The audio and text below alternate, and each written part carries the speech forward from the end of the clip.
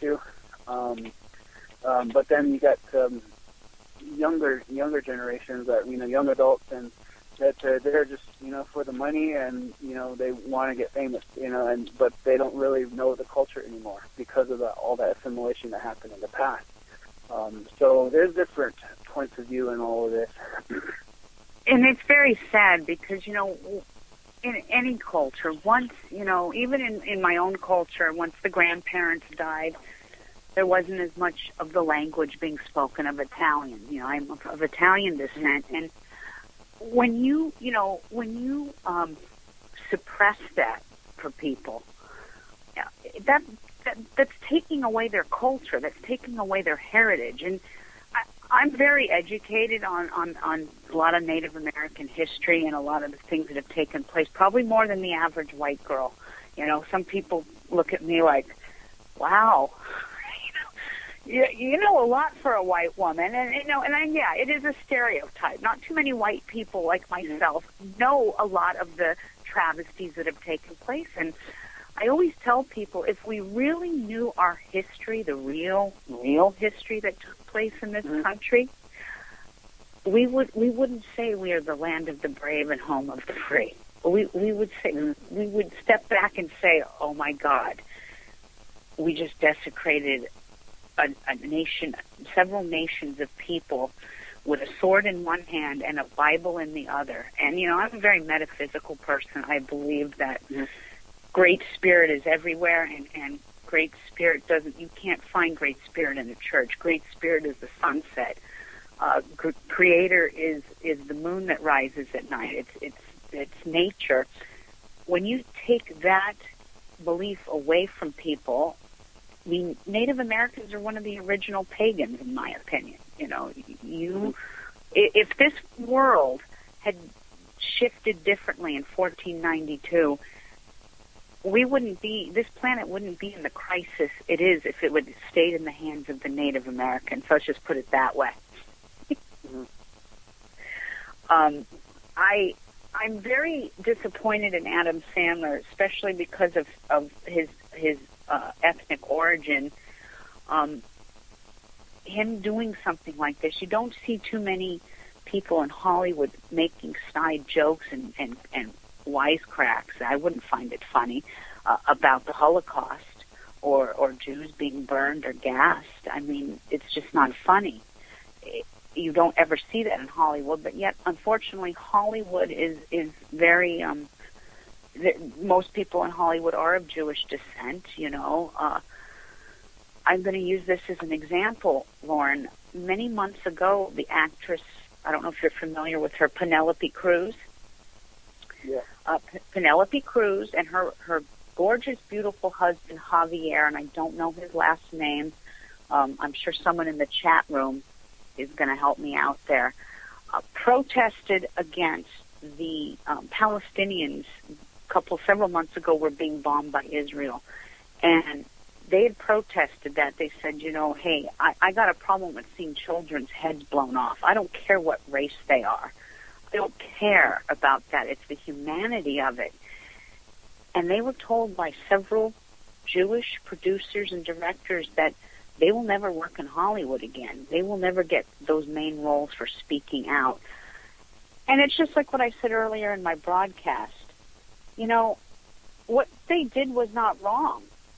What they did was the right thing. It's a humanitarian plight. It's a plight of of of decency and and saying, "Hey, this this has got to stop." You know, innocent lives are being killed in the name of what? Religion and war. Um, I, when you were when I was reading this story that was posted in Indian country, that's what came to my mind is these two actors that, that spoke up against an atrocity that was taking place, and then being told they'll never be able to work in in, in uh, Hollywood again. And I'm being told in the chat room his name was Javier Bardem. Bardem. I think he's from uh, Brazil. Anyone who's ever seen Eat, Love, Pray will know who this guy is. He's the hunky dude at the end of the show every woman goes crazy for. That's Penelope Cruz's husband. And come to think of it, I have not seen them in any movies lately. I don't see them coming up in any. Uh, and it's kind of sad that this can take place in in this this world where we have access to the internet and we can find out the truth. Um, I I feel very bad for your people that had to go through this, and I'm very proud of you. I would have done the same thing. I would have walked off the set. You know, um, Lauren, my my own child is in acting school, and I don't say too much about this to the public, but she had was doing a photo shoot a couple of weeks ago, and they had told her you could do this one, you could do that one, you could dress up as this, and you know she finally said, "I'm I can't dress up as that," and they said, "Well, why not?" And it was it was a Native American headdress, and you know she said, even me being of Native American Blackfoot and Cherokee Nation descent, I don't haven't earned the right to wear that headdress, and I'm of Mhm. Native descent, so I just don't think people understand that the culture. it- It's it's a religious right in great many ways. This is your culture. This is, you know, what what you guys do, and and people just don't get it. it they just don't get it. It, it it it floors me the ignorance and stupidity in this country, Lauren. And you're much younger than me. I'm probably old enough to be your mom, and I thank you because we need this generation to step up to the plate and say enough is enough. I Mhm. thank you. I'm getting such positive feedback right now in my chat room from you that you you're a bright shining star. We thank you for this. Well, it's, um, I, I appreciate it. Um, it's um, you know, it, it's one of those things that um, it, it's like an inheritance. It feels like. um, you know, I I think of Rosa Parks. You know, she was just tired, sat down, and just said, "No, I don't want to move." And and in this case, it was you know just speaking out from the heart and saying what was right. And um, we, I none of us expected it to get the attention that it did from the world and has continually um, as an issue. Uh, but I'm glad. Uh, I wish there was more awareness for um, issues like this. You know, not only for you know Indian country, but other minorities that um, that have experienced inequalities or injustices. Um, because a lot of times, you know, when I wrote the story to Indian country today, it was only because I knew other media would probably brush it under the rug, just like any other situations. Because like during the same time that we're going through this whole thing, there was you know 57 uh, uh, South Dakota uh, Native kids that got you know poured beer on at some hockey game, and nobody did anything about it. And um, Are you was just a kidding? small little- Oh yeah, my it was just a gosh. small, small little paragraph and then a couple of newspapers, and that was it. So you know, there's issues like that that um, just get brushed under the rug for you know Native people, and um, but uh, you know we want to use this in a positive way. You know, to you know let people know that we need to love one another. We're all human beings, and we can do awesome stuff. We can work together, and uh, you know the whole Native aspect, uh, Native aspect of of you know seeing the world as, as our mother and taking care of our mother. You know, and that's you know one of the reasons why I walked out is because they're talking about our mothers. They're talking about you know women like you and women that are listening on, on right now is that you know everyone deserves respect, but you know women deserve it the most because they give us life. You know, I'm I'm part female because of my mother, um, and um, we should protect that. And women are sacred. Women are special, and and in that in that way, I mean, a lot of people don't see that. You know, you know the, the Adam Sandler movie was all about disrespecting women, and calling them names and degrading them, and yet the male characters had all these like awesome, heroic, strong names, but you know, it, it's it's always like that, you know, and it, so it's a it's a tough situation to where we need to break these stereotypes. We need to break the racism, um, and and bring this awareness of saying, hey, we don't like it, we're offended, and, and even though we we said that, and if you've seen the video, guys, and, it, it, it's on there where you know we're ta- talking about changing the names, and they don't want to do it because of many reasons. They, they just straight up told us, no, we're not changing anything, and you know, but yet they said, we know, we know you guys are offended. You know that we didn't know, we didn't mean any harm. You know, but yet they know now, but they're still continuing with it. And that's the way that it always goes. It's so ironic that we had to have this conversation in 2015 that seems so similar to the ones we had 300 years ago and 500 years ago. Um, it seems I know. changing it's disheartening. I, it is very disheartening to think we have not evolved into better human beings and better people by 2015. That's why I say your generation is our hope. My children are my hope that this can get changed. That that you know, it, it's just like the whole you know the the gay thing that's going on with the people. I have we have states protesting this. You know what? Live and let live. You know, we're all one. We are all connected in some way. It, it really saddens me that we live in a society like this, but it is what it is. And I think the more we speak up, the more we have my radio shows and the other shows that come on here and talk about these issues, the, the better it is for us to get that message out there to the people. Because I know there's people going, I didn't hear anything about this. Where do you get your information from? Well, you have to put yourself in in into certain areas that you know you don't go to mainstream media because I guarantee you I could bet money on this. None of this was broadcasted on NBC, ABC, Fox News, or CNN.